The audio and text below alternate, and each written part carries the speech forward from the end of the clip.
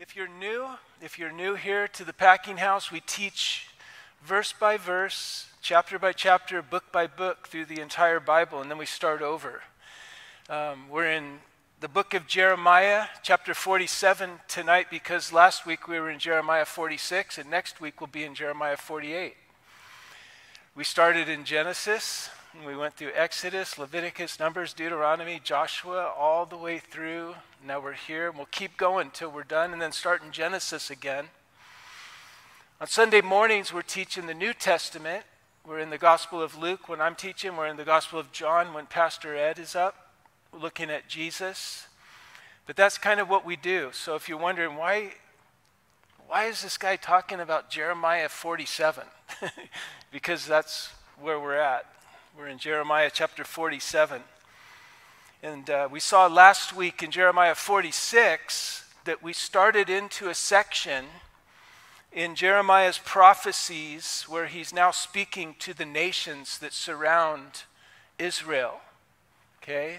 This is Jeremiah's word to these nations. We saw last week his message in chapter 46 was a message to Egypt. Okay, and, and that God was going to humble Egypt's arrogance. So, what God does is He humbles the proud and He lifts up the humble.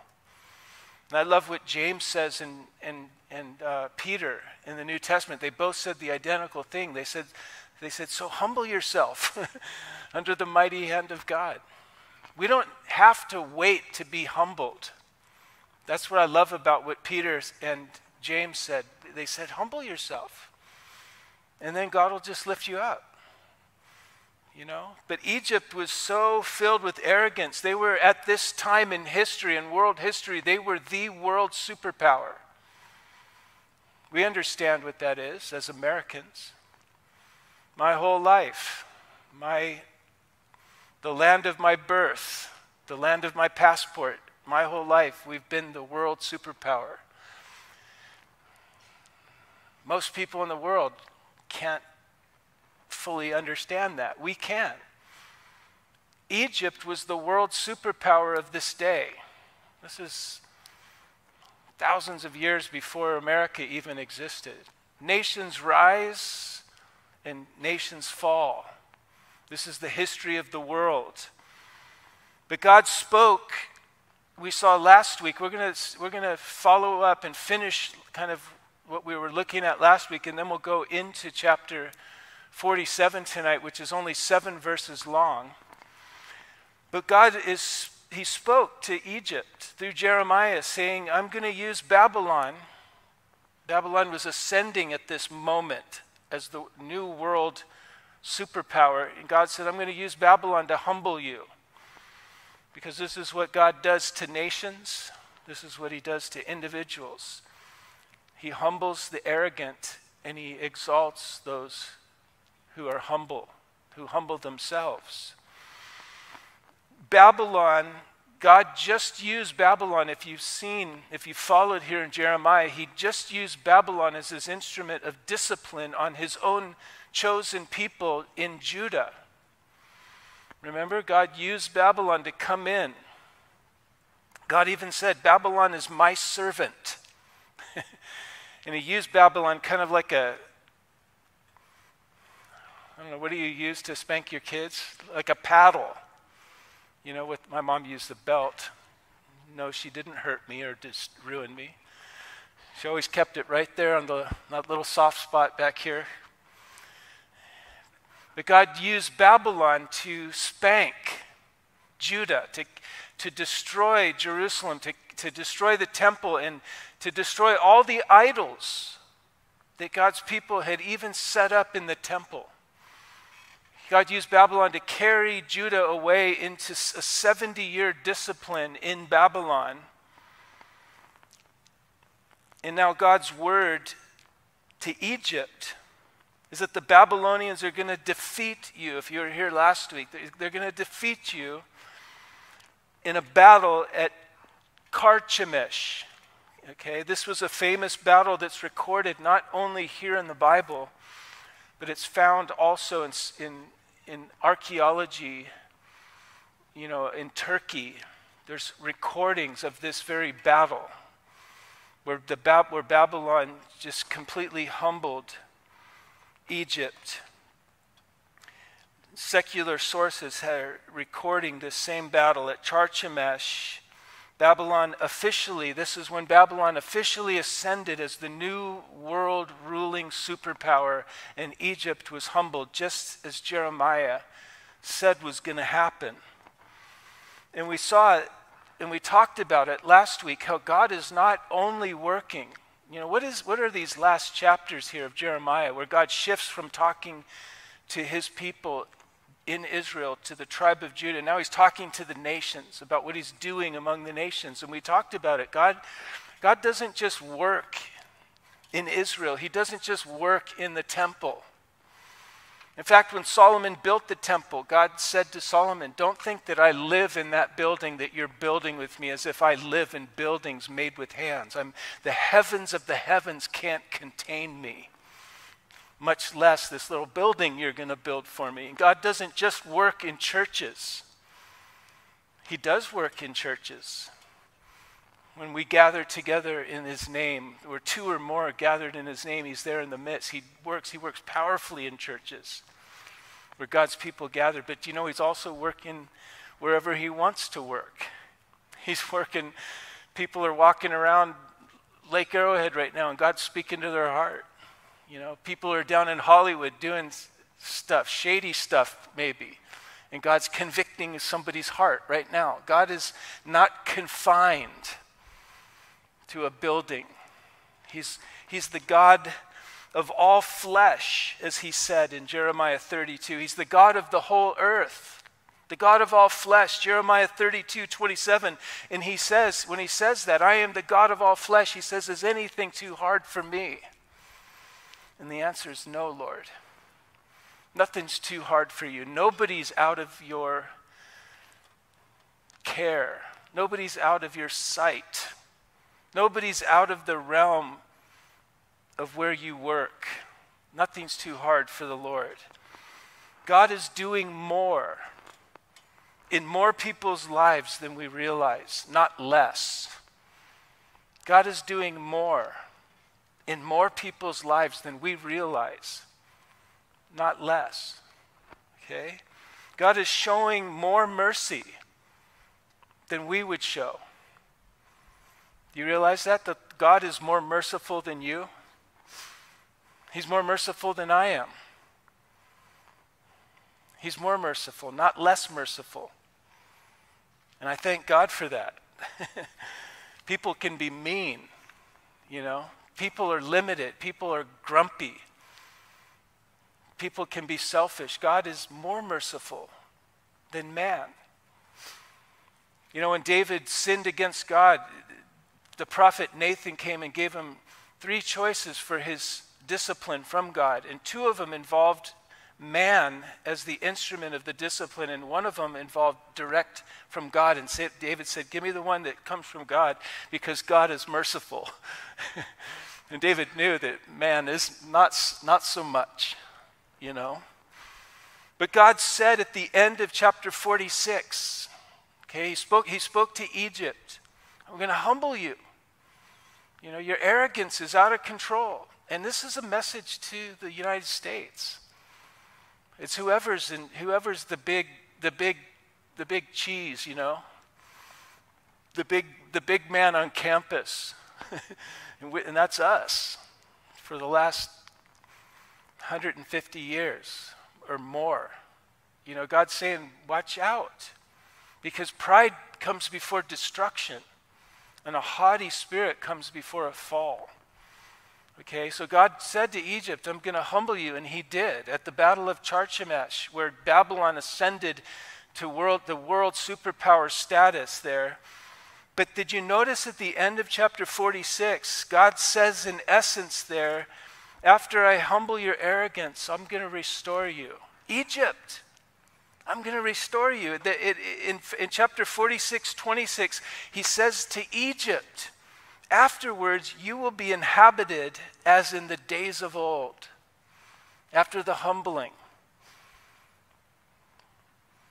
Isn't that cool? God gave that promise to Egypt. After I humble you, you'll be inhabited again, as in the days of old. In Isaiah chapter 19, we're going to go there right now. If you have your Bibles open there, I don't think we have the slides for this, but in Isaiah 19, we find an even more wonderful level of God's mercy. Isaiah 19 19. Isaiah 19 19, easy to remember. Jot that down. But God says, In that day there will be an altar to the Lord in the midst of the land of Egypt. A pillar to the Lord will be at its border. And it will be for a sign and for a witness to the Lord of hosts in the land of Egypt. For they will cry to the Lord, the Egyptians, because of the oppressors, and he will send them a Savior, a mighty one, and he will deliver them. And then the Lord will be known to Egypt. Look at this gives me goosebumps. Just thinking of God's love for people, for the He loves the world. God so loves the world. You ever hear that verse? For God so loved the world that he gave his only son, right? And the Egyptians will know the Lord in that day. Isaiah 19 21.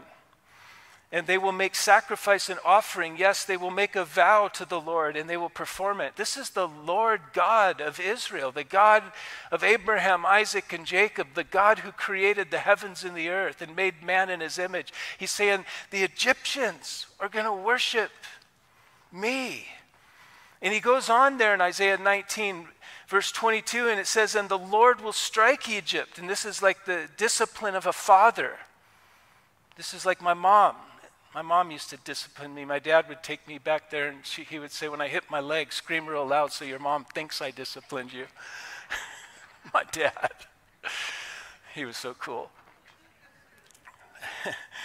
the Lord will strike Egypt and he will strike and heal it. This is all of God's discipline is for the is to the end of blessing and healing. And they will return to the Lord, and He will be entreated by them, and He will heal them. This is speaking about Egypt. Okay? We're here in the church. There's a lot of people out in the world, and God's working out there because God loves those people out there. And He goes on there in Isaiah 19. He says, In that day, there will be a highway from Egypt to Assyria. Okay, Egypt is south of Israel. A highway would have to go right through Israel because Assyria is up in the north there of Israel. There will be a highway, and the Assyrian will come into Egypt. And the Assyrian and, and, and the Egyptians will serve, serve with the Assyrians. In that day, Israel, check this out, will be one of three. Israel will be one of three with Egypt and Assyria, a blessing in the midst of the land, whom the Lord of hosts shall bless, saying, Blessed is Egypt, my people, and Assyria, the work of my hands, and Israel, my inheritance. You see where God's heart is? We see all through Scripture, we see all through Scripture that all of God's promises to Israel are for the world, right? All, all that God is doing and revealing to Israel, it's so that the whole world might come to know God and know the love of God and the salvation of God. It's for the nations, it's for all people, not just people that look like you or kind of like people I can relate to, but all people, including me and you. When God chose Abraham, he was the first of these people, first of the people of Israel. He was the first. He was from northern Iraq, modern day northern Iraq, the Ur of the Chaldees, Mesopotamia. He, and God called him to come to the land of Canaan. And he said, I'm going to give you a land. I'm going to give you this land. I'm going to give you offspring. I'm going to make your name great, Abraham. This is the one guy named Abraham 4,000 years ago. It's the biggest name in the world now. And God said, I'm going to make your name great. And he said, Through you, Abraham, catch this. Because this is what it means to be chosen. It doesn't mean you're in and everybody else by default is out. You're going to heaven, and by default, everyone else is going to hell. That is not what the Bible is teaching. Okay, and that's a kind of a mentality that comes out of the Reformation 500 years ago, and it's not. God told Abraham, through you, all families of the earth will be blessed. This is what it means to be chosen. You're chosen to be near me, to know me, so that you might make me known to the world because I love, I so love the world. I'm going to give my son for the salvation of the world. This is what it means to be chosen. You're chosen to know God and take God to everybody. Take the love of God, the redemptive love of God, to everybody. Nobody is outside of the scope of who God wants to reach. Nobody. In fact, the greater the sin, the greater the grace, and the greater the glory that God gets when He lays hold of that one. That's the way it is. He saves us to the praise of the glory of His grace. You see? So if you're listening to this online, you're here in the house, and you're thinking, I'm, I'm way out there, Pastor. You don't know me. You don't know the stuff I've done. You don't know where I've been. Well, the farther out you've been and the worse stuff you've been involved in, the greater glory you'll bring to the grace of God when you let His love win you over. God says Israel, Egypt, Egypt. He says he's in that day there will be blessed be Egypt, my people. Israel, Assyria, the work of my hands, Israel, mine inheritance. It's so beautiful where, where this is all headed. It's so beautiful what God is doing. What God is doing in the world. Okay? God so loves the world. He always has, He still does, and He ever will. Now, as we go into chapter 47, Jeremiah brings a prophetic word to the Philistines. The Philistines. Okay? Notice here, these are a people who had made themselves perpetual enemies of Israel. They just perpetually, they were just stuck on attacking and seeking to annihilate Israel constantly attacking them, raiding them. The word of the Lord that came to Jeremiah the prophet against the Philistines. And this, and, and Jeremiah puts in here, this was before Pharaoh of Egypt attacked Gaza. Okay, what, what is that? Okay, here's the word of the Lord now to the Philistines. And this is before Pharaoh Necho attacked Gaza. What? Well, we know from secular historical records that Pharaoh Necho of Egypt, he went on a campaign in 609 because, follow this, he wanted to prop up Assyria to assist and to gang up on the ascending Babylonian power. Egypt was looking for help and alliances because they could see that Babylon was rising in world dominance. They wanted to, you know, maintain this balance of power. And so here's this word to the Philistines, and this is before Pharaoh attacked Gaza, which is where the Philistines lived. You've heard of the Gaza Strip, right?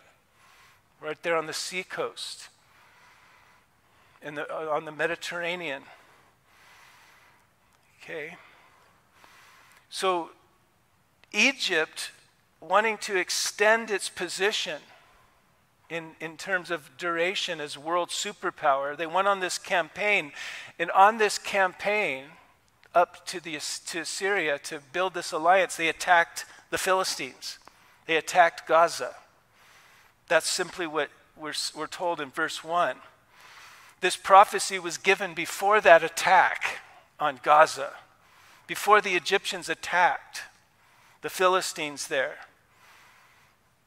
And so here's the word of the Lord through Jeremiah to these Philistines who had made themselves perpetual enemies to Israel. Thus, they had made themselves enemies to God. They'd made themselves enemies to what God was wanting to do through Israel for the world. When someone attacks a servant of God that God has called, they're attacking the work that God is trying to do through that person, through that people.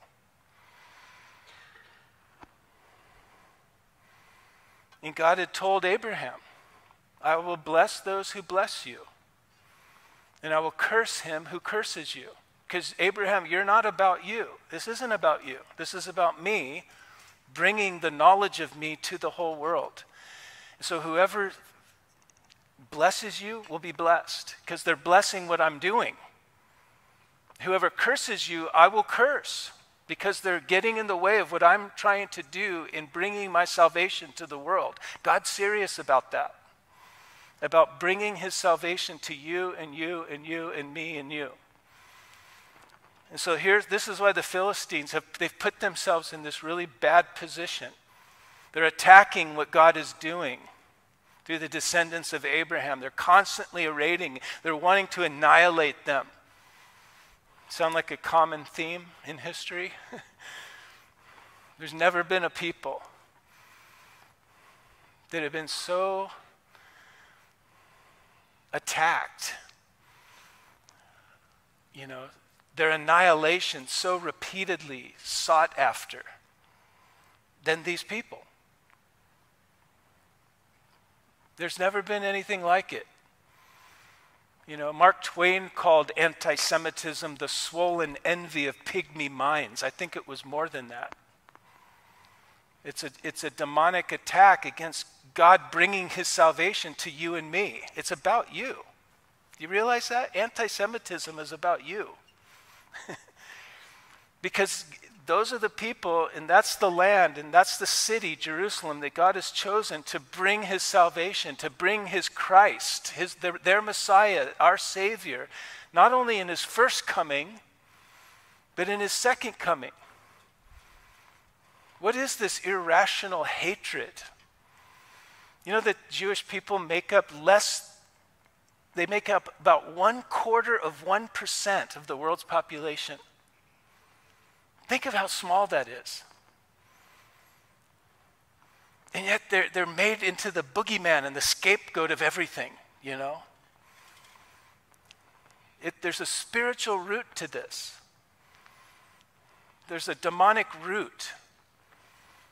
The, their destruction, it's a satanic desire to destroy the people and the, and the platform upon which Christ will come now, in our, from our point of view here alive in, the tw- in 2022 in his second coming.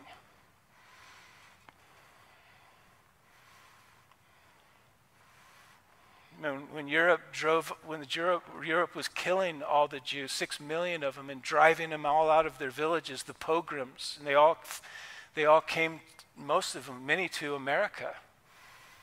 And then we got all these incredible professors and you know, microbiologists, and we, and, and we, we got blessed. The meteoric rise of the, you know, biomedical fields, it was, it, you can track it right with the arrival. They drove out all of their big professors and scientists. It's irrational.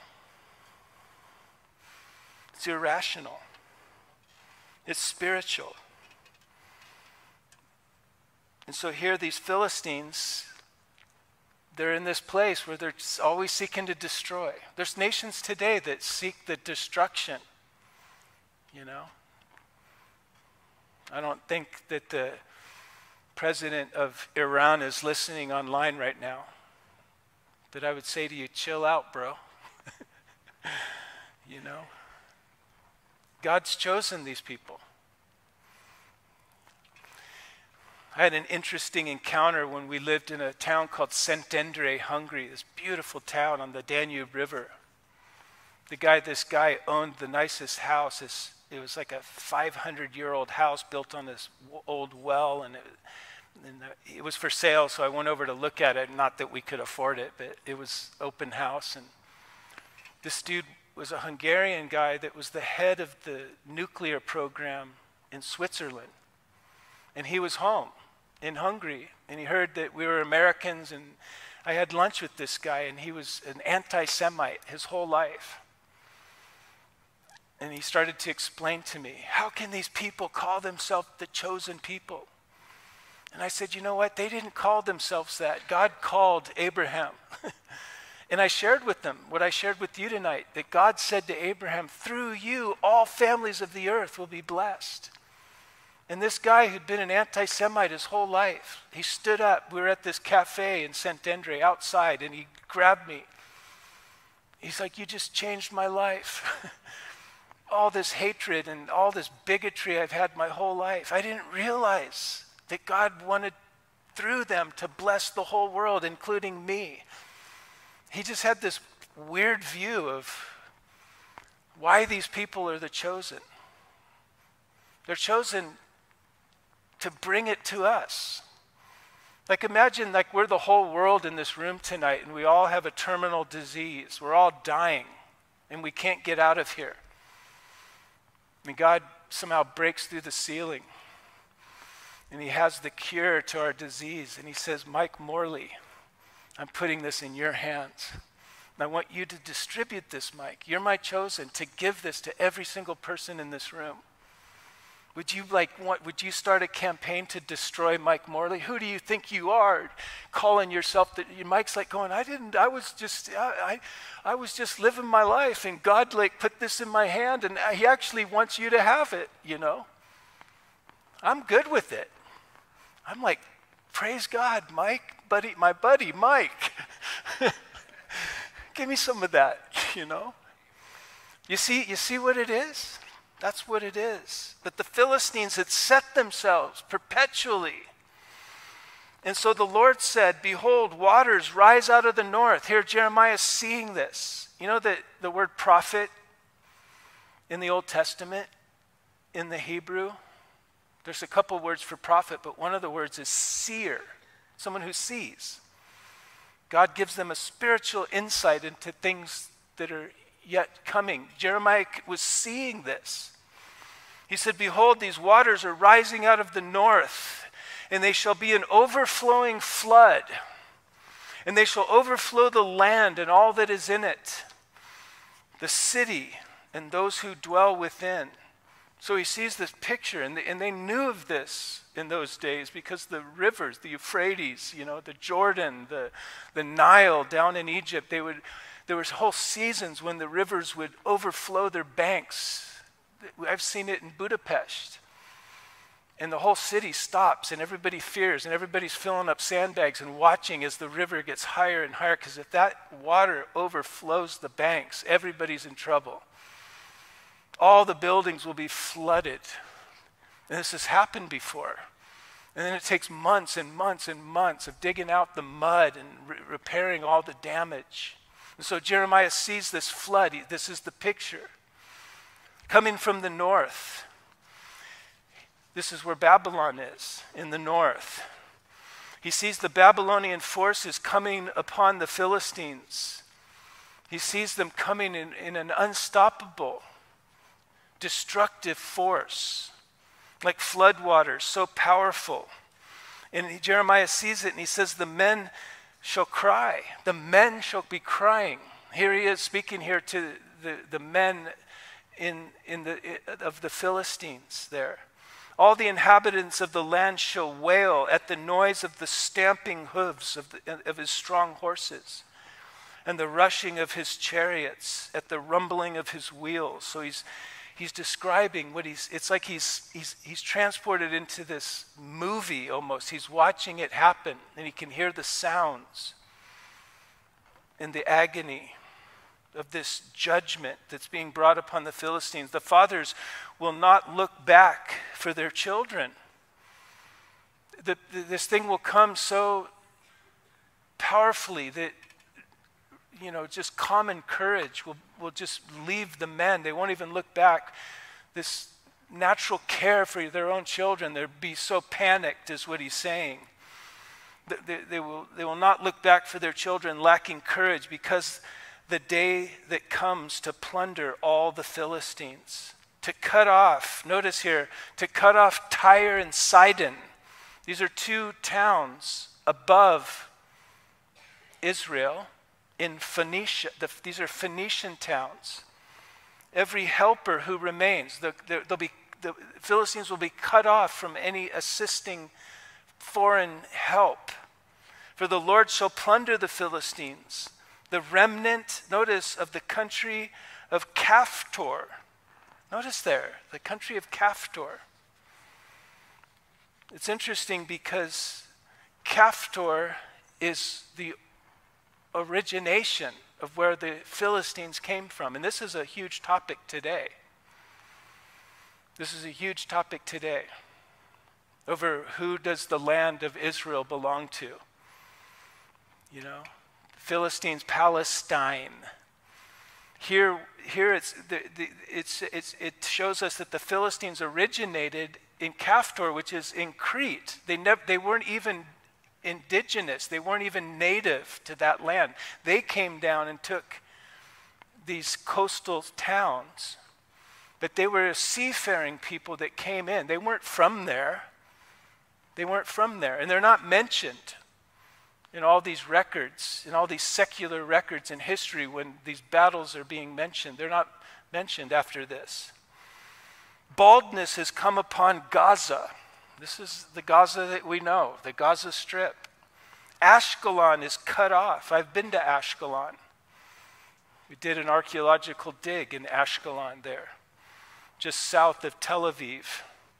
So Jeremiah sees the Philistines cutting off baldness. They're cutting off their hair, their beards. This is a sign of deep grief and sorrow, distress from the destruction of this invasion of the Babylonians. Jeremiah is seeing this in advance with the remnant of their valley. How long? Jeremiah, as he's seeing this, he speaks. He says, How long will you cut yourself off? Jeremiah is reacting to what he's seeing. It's interesting. And then notice what Jeremiah does. He cry, as he sees this horrific scene, the prophet of God that's bringing this message of judgment of destruction on these people that are trying to destroy the people that God is bringing salvation to the world through. He cries out, Jeremiah cries out and says, Oh, you sword of the Lord. Because he realizes that the Babylonians are like a sword in the hand of the Lord, that it's the Lord bringing his judgment. How long until you are quiet? Jeremiah says to the sword. Put yourself into your scabbard, into your sheath. Rest, be still, stop. This is so interesting to me. Jeremiah the prophet, seeing all this destruction, even on the Philistines, who are the arch enemies of his own people. He sees this destruction prophetically in this vision. And he speaks to the sword that's destroying his enemies. And he says, How long are you going to do this? He's horrified at this. How long will you continue this destruction, O sword? He pleads with the sword. he says, Put yourself back in your sheath. Stop. He asks the sword, He says, Please rest. Be still. What is this? I'll tell you what this is. Jeremiah, like God, like God, as God says in Ezekiel 33:11 for those of you taking notes, God takes no delight in the death of the wicked. God takes no delight in the death of the wicked, even in God's own enemies. He takes no delight. And so Jeremiah, he's not delighted in this at all, what he's seeing. And he's, he's like going, like any human being, any normal human being that has any humanity still in them. And you know what, as Christians, we should be, be, we should be becoming more and more humane, not less and less. You know, you got some guys out preaching hell, and, and it's like it's the most horrific thing you could. I don't trust these guys that just preach it like they're just preaching it. You know? If you think about what that is, it's so horrible. But some guys are preaching it as if they, you know, you're all going to hell. You don't even know it. You don't even know what that is if you can just say it like that. You monster. You can just preach it and jam it down people's throats. You don't even know what you're talking about. Jeremiah knows what he's talking about. He sees what's happening and he's like, How long? Put yourself back in the sheath. Rest. Stop. This is normal. This is normal.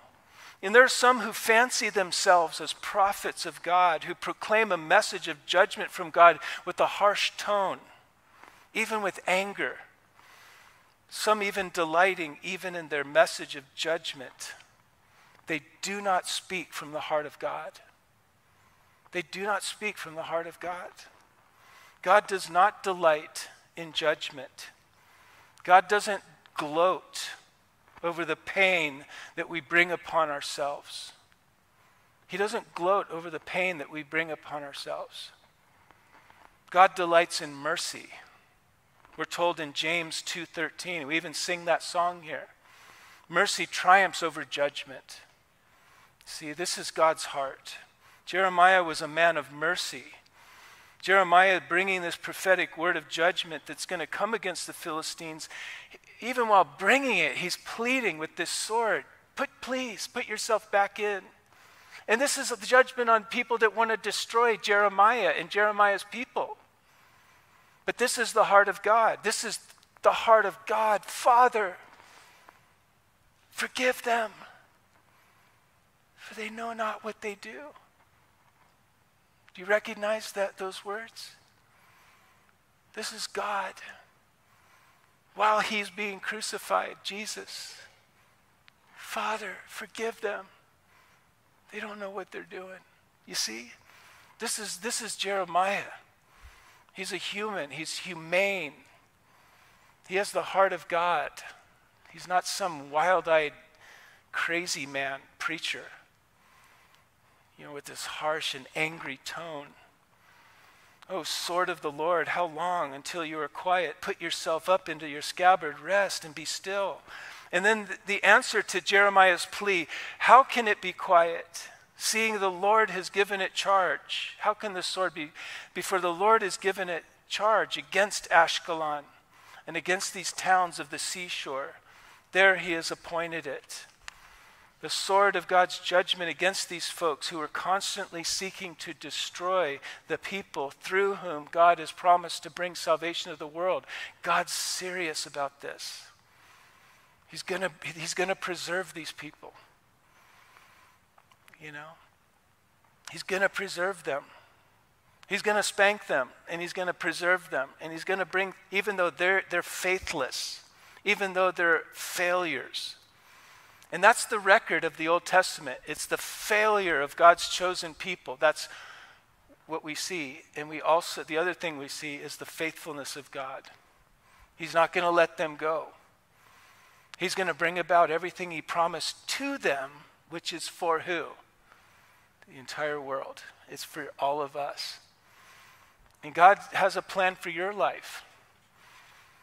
And you've experienced a lot of chastening, a lot of spanking for whom the Lord loves, he chastens, the Bible says. Some of you are like, man, God really loves me. It's just been, all it's been is 30 years of spanking. Yeah, he does love you, and he's not going to let you go. He's not going to kick you out. He's not going to be done with you. He's going to fulfill the purpose for which he laid hold of you because that's how he is.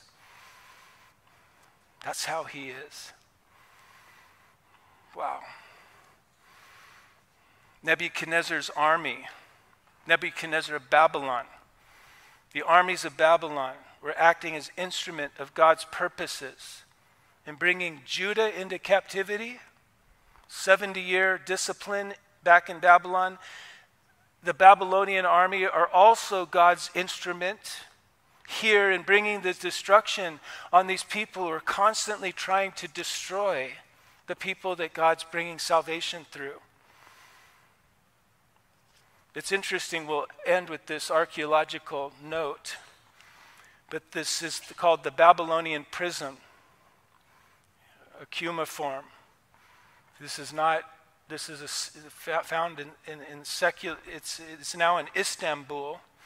In this writing here, they found this. It mentions the presence of the kings of Tyre and Sidon, of Gaza, of Ashdod, at the court of Nebuchadnezzar, the Babylonian invading armies.